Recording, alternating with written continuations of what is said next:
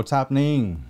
In today's live show, we're going to look at how to add subscribe to your channel uh, animated overlay with audio in Ecamm Live. By the way, Ecamm Live is the uh, live streaming application that runs only on Mac, and that's the best live streaming application uh, that can run on Mac.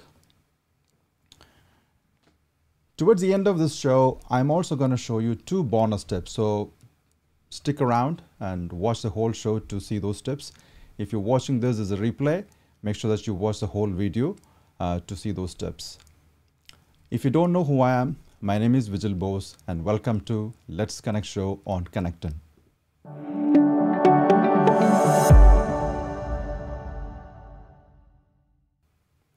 We do product reviews and provide tips and strategies to help you create professional live content.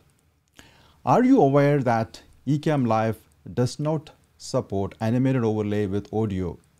Let's find that out. So I'm going to go into um, live demo mode so that you'll be able to see what I'm doing. I'm turning on live demo mode. Now actually you can see the Ecamm interface. So under overlays menu, there is an option called new animated overlay. So let's try to bring in an animated overlay. And I have a couple of files uh, in my downloads folder and one of them is subscribe and like overlay.mov. So that's what I'm trying to bring it in. All right. Uh-oh actually it gives gives me two options one is to play full screen with audio and second option is add animated overlay and maybe we'll, let's let's also read this text do you want to add this file as an animated overlay animated overlays do not include audio so obviously this is not the behavior that I want and you want uh, I want animated overlay to be played on top of my main video source with audio for example, if I try to do this one, add animated overlay, and this is what I see, but there's no audio associated with that overlay. Obviously, this is not what I want. So let me remove this guy. okay, let me turn off the live demo mode so that uh, you'll be able to see the, my screen in full. So what is the alternate uh, way to bring uh, animated overlay with audio. I'm using two other technologies today to demonstrate how you can bring an animated overlay in Ecamm, Uh, you know, so let's check that out.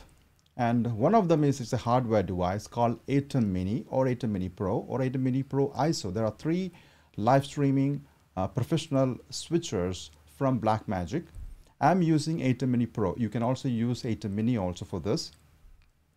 And second one is called HyperDeck Studio Mini. HyperDeck Studio Mini is a recorder come uh, a playback device. In today's demonstration, we are only going to be using um, HyperDeck, Studio Mini as a playback device. Okay, let's uh, uh, get into uh, a little more details about HyperDeck Studio Mini. And if you want to know what uh, all those options available within HyperDeck Studio Mini. You can see all you know, every buttons are uh, labeled properly. At the back of the HyperDeck Studio Mini, there are two things that I am interested. One is a network port, another one is HDMI out. I am using HyperDeck Studio Mini as a network device. That means I attached underneath my table. I also hooked up my network cable from my router into HyperDeck Studio Mini so that that device is accessible from anywhere in my network. And that's how I transfer video files from my computer to HyperDeck Studio Mini. All right. And the HDMI out is what I'm using to connect to my ATEM Mini Pro live streaming switch. And if you look at the next uh, picture, uh, the back of the ATEM Mini Pro or ATEM Mini, actually you see it here. There are four input um, sources that you can connect. My HyperDeck Studio Mini is connected to as a fourth input to into ATEM Mini Pro. And my main video that you're seeing me, the main camera video feed is connected to uh, input number one, okay? And uh, let me get into a live demo mode so that uh, uh you'll be able to see uh, little more, more options. Here, I'm showing you ATEM Software Control. ATEM Software Control is a software from Blackmagic uh, through which you can control ATEM Mini or ATEM Mini Pro or ATEM Mini ISO or uh, the high-end uh, switches from Blackmagic, uh, live streaming switches from Blackmagic. And this software is very powerful. It, is, it has got lots of options. Um, and uh, one of the things actually is actually if we click on this gear icon, you see this. Uh, and if you go into HyperDeck and see, look at that. And this software has got a native integration uh, with my HyperDeck Studio Mini. That means I can control um, the HyperDeck, uh, you know, through the software. And it is connected as input number four. And it's a camera number four. Actually, this is treated as a camera four and is connected to my input number four. All right. Okay.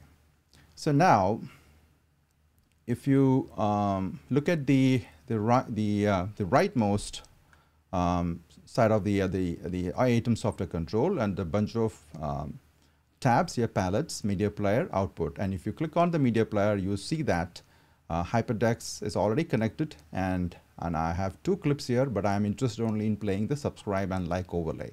Okay the one that you just saw uh, uh a minute ago. All right now going to the palettes uh, tab and uh, the bunch of options here. And what we are interested in here is the upstream key one. And this key is used to key in uh, an animated overlays when you do a transition from one camera source to another camera source. That means you are switching from one camera angle to another camera or maybe one camera to another camera. Here my camera one is my main video main video feed and camera 4 is the video or the animated overlay feed from my HyperDeck Studio Mini okay so and I'm also interested in the Luma uh, there are a bunch of options here Luma Chroma pattern and DVE but we are going to look at Luma what is actually Luma Luma provides a way to composite a foreground clip on top of a background clip you know, based on the uh, luminance available in the video signal. So here I have two options here, fill source and key source. My fill source is a background uh, video feed, which is actually a feed from camera one. That is my image that you're seeing now. And key source is actually where the animated overlay is actually coming from. That is my HyperDeck Studio Mini. So I choose camera one and camera four. And there's one more option actually that I'm interested is called pre-multiplied key what is actually uh, here by default this is actually going to be enabled so make sure that it is disabled so that you have more control in uh, in the the transparency and the color information of the animated overlay and also the the the background uh, the, the the video as well so I dialed in as 27.8 and 25.3 is gain as the optimum uh, levels for my um, an overlay to be displayed on top of the the background and here also I make sure that the invert key is selected. That is very important. In addition to that, because you also want to bring the audio from each of those camera sources, right? So ATEM Mini or ATEM Mini Pro or ATEM Mini Pro switch uh, has got uh, uh, options to enable the sound from uh, each of those input sources, the video sources. And it is called audio follow video mode. It's a button. Actually, if you uh, go back to the previous uh, and if you just watch it, um, actually I showed you in the earlier uh, image of the ATEM Mini Pro that is highlighted. Those audio buttons are highlighted. So make sure that the audio follow video mode is enabled for the input source uh, for which you are bringing the audio. Okay, that is very important. Otherwise, the audio will not be heard. All right. So now what I need to do is when I do these settings, this is all these are the two settings that I need to do: the the uh, fill source, key source, and the um, clip and the gain and the invert key. That's it. And then coming back to the this area, this um, you know ATEM, all the ATEM switches has got two modes: preview mode and program mode. In preview mode is actually used for uh, to actually um, uh, that means actually you will be able to preview um, what is the, what are the uh, preview of each of those camera angles because I have got uh, actually I'm using um, four different uh, camera sources. Actually, one is my main camera. I have got a second camera uh, connected to my ATEM. And I have a third, one is my computer connected to my ATEM because I can also connect computer as a camera source because it has got HDMI out. And the fourth one is my HyperDeck Studio Mini, okay? Um, so I can see all those preview uh, using preview mode. And it's also used, for example, if you wanted to actually switch from camera 1 to camera 4, make sure that your preview is set to camera 4 so that you will be able to switch between 1 and 4 camera inputs. Okay, that is what you're going to be doing now here. Okay, so here I wanted to actually uh, transition, actually switch from a camera 1 to camera 4. So I am setting the camera 4 in the preview mode. And then I make sure that the background is selected because my background I'm going to key in on top of the background okay? And the background is selected and make sure that the key 1 is also selected. That's all I need to do okay? And I'm going to show you uh, a demonstration of how that animated overlay is going to come from that HyperDeck Studio Mini now you see this look at that now that animated overlay is played in Ecamm Live with that audio. Isn't that awesome? It's a fantastic feature, but actually, you know what? You have to have this ATEM Mini or ATEM Mini Pro or high-end model like uh, ATEM Mini Pro ISO to enable this feature. And uh, um, the beauty of HyperDeck Studio Mini is actually, you know, um, no matter, because it is continuously running, so, but no matter how fast it is running or, you know, if it is in the loop or, you know, I can control. The moment I switch it, it's going to play from the beginning of that file. And that is an awesome feature uh, built in um, uh, and as part of the, uh, the, the HyperDeck Studio Mini. And that is what I really like to show you today. But actually, there are a few other things that I really, I also want to touch on today. Um, for example, if I'm switching my camera angle to 2, uh, for example, I'm changing my camera angle to 2 here uh, it's camera angle 2 so all I need to do is um, in the actually uh, in the previous uh, sorry. okay here uh, what you need to do is um, look at this camera 1 the camera 1 should be changed to camera 2 okay? That's all you need to do the rest is all same and uh, now uh, on my video uh, you will be able to see that an animated overlay is played. Look at that. That's all I need. That's it. That's simple.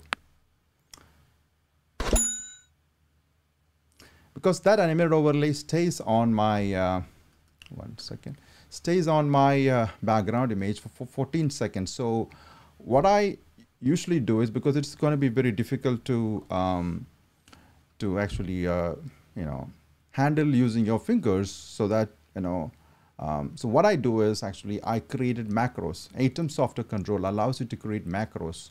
The macro is actually the one way to um, screen record all your actions that you that you do on that ATEM software control, and that uh, macro is also mapped into my uh, another device called Stream Deck that allows me to to control my live stream. You know, so I can actually control just by you know by just a simple button uh, you know uh, button press.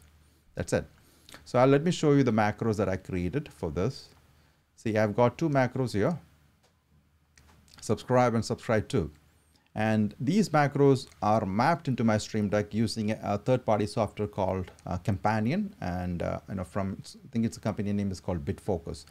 But today's show, I'm not going to go into that because it's going to be a little more, um, you know, I think that that should be a show on its own to actually talk about it but just for the for the sake of you know, for uh, for the for the demonstration purposes i'm just you know i'm just telling you that this is the best way to do it so that uh, you don't have to because a bunch of things that you're doing here you have to make sure that your preview should be you know set to uh, you know the next in line the next camera should be you know should be transitioned to and then you do the background uh, has to be checked key one has to be checked all those things you can automate it and everything, including the camera, the fill source, key source, all those settings, you can automate it. All right. So let's, uh, let's go into the bonus step number one. Animated a lower third in Zoom and StreamYard. Okay. So let's take a Zoom, for example. Zoom is a, is a video conferencing um, application. I'm actually uh, bringing in Zoom. Mm. Let me go into the screen mode.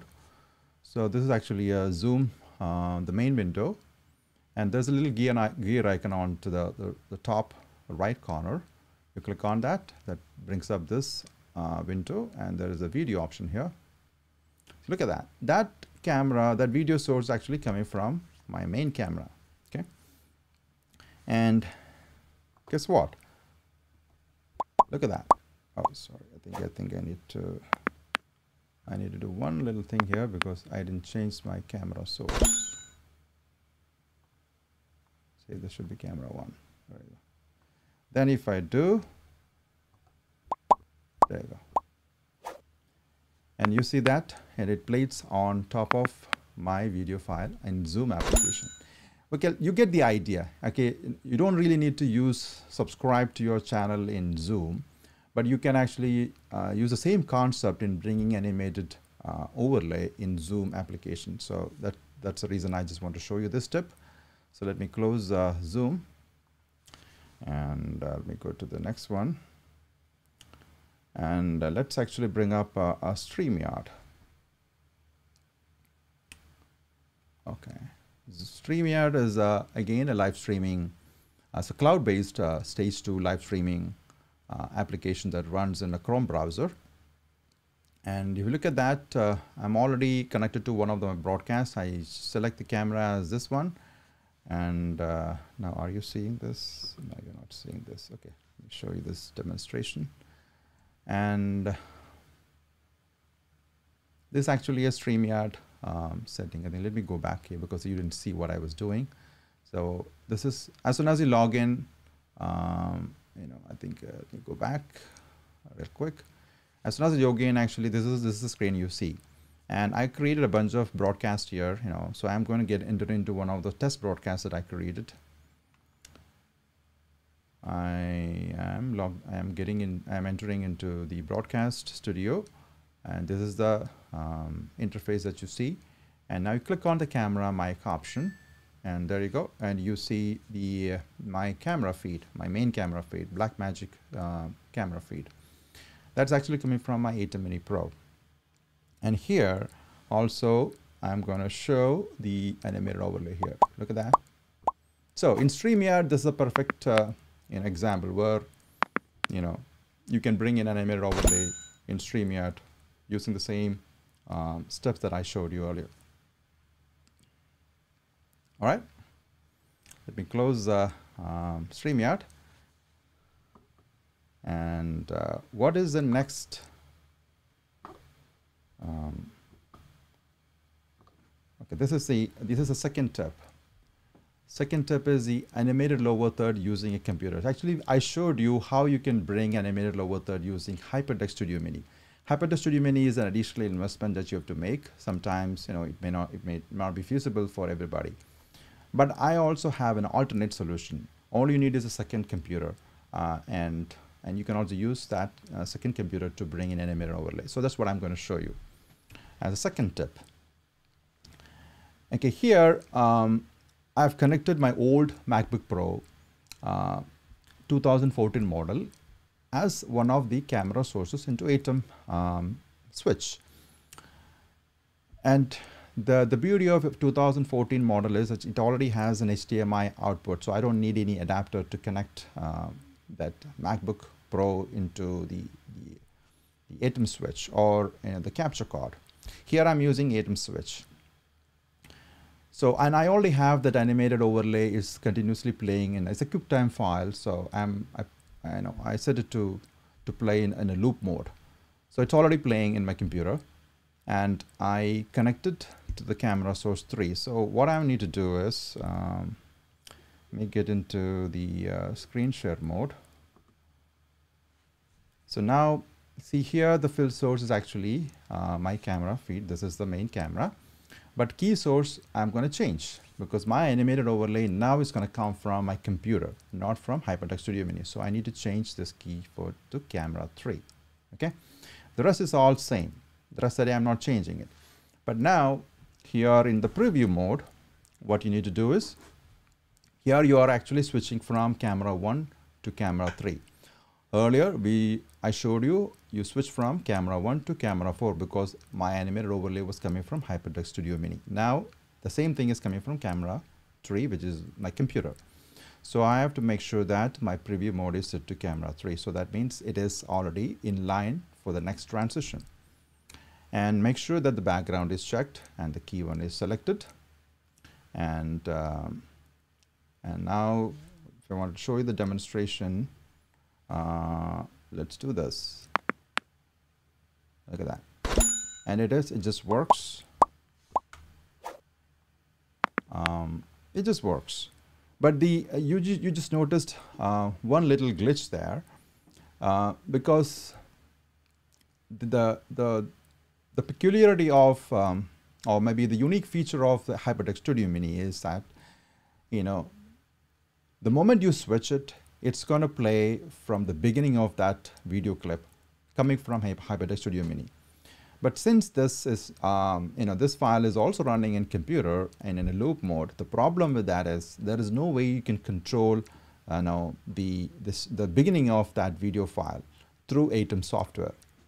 And it's gonna show up, you know, probably that video file, uh, it's, it's actually, it's in the middle. Otherwise, what happens actually is you have to really manually, um, you know, go and play that file.